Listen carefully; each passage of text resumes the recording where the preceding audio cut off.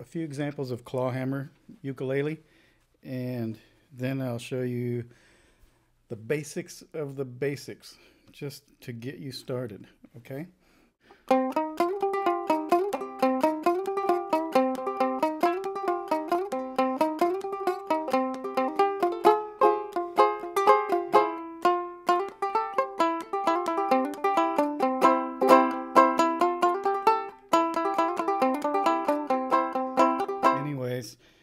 I am going to show you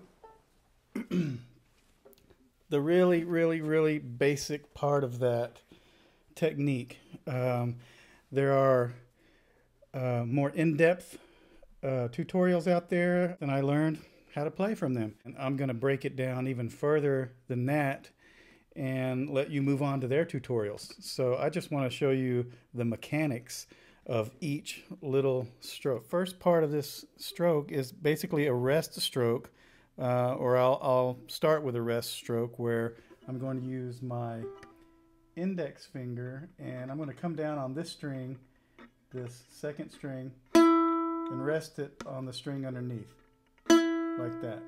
Okay? We don't even need to call it anything. We'll just say that's what we're going to do. Okay? Notice where my thumb is resting? Um, that's going to be part of this same stroke. So basically we're going to stroke and rest the thumb on the top string. Okay? That's the first part of this whole thing. And this is where I see some people struggle. So and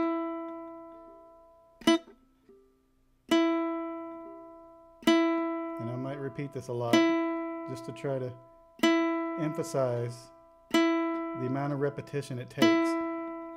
When I took those tutorials, um, those couple tutorials online on YouTube, I sat in front of the TV for probably 10 minutes doing this. So, literally, um, maybe two or three hundred times until it till it felt natural, and that was only a few minutes. Okay, just a few minutes, um, five minutes of doing that. If you can do that, just that, for five minutes, ten minutes, however long you can stand it, um, then you'll have it down. So just this. I'm watching myself in the monitor to make sure I can see what you're seeing. I'll try to cut a lot of this out too because it's already almost five minutes long. That's ridiculous. Okay. So the next part of this, the next part of this is going to be where we're going to use the thumb. Okay. You do the downstroke with the thumb resting on the top string, and as you lift everything back up, you're plucking the top string. Okay.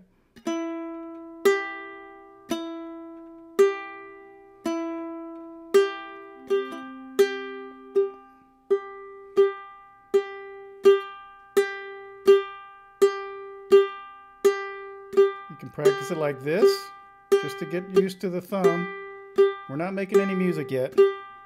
My um, ring finger is on the third fret of the second string.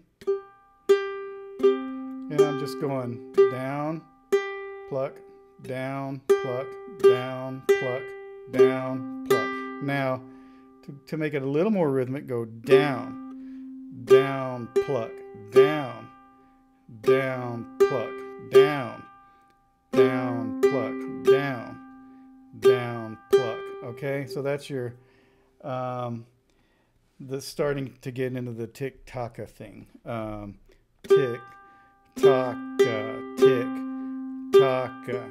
Uh, the other guys have you doing chords or st- strums for the talk, um, and you can do that. Tick taka, tick. But um, get get that down first before you worry about anything else. Because once you get this down, you're home free. Everything else will be easy. So as many repetitions as you can do. And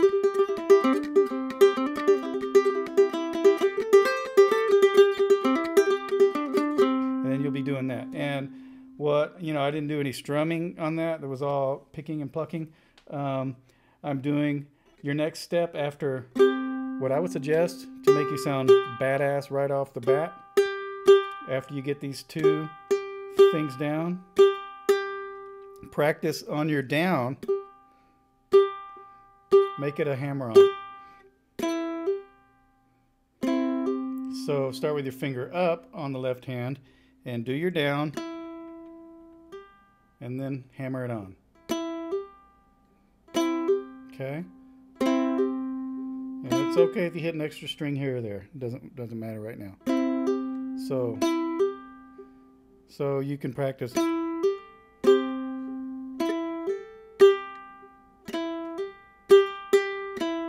That's when it starts getting really fun to do, okay? I can do this all day long. Okay? So,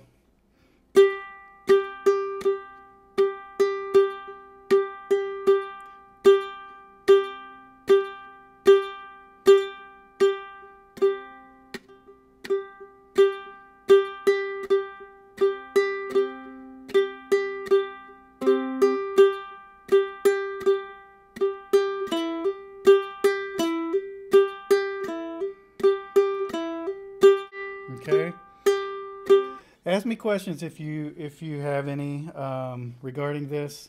Like I said, it's it's there are tutorials all over YouTube, and they're good ones and different approaches. Look at them all. Look, see what you can get out of them, and even the banjo ones. I watched a lot of banjo ones, and I take away things that I can use on the ukulele.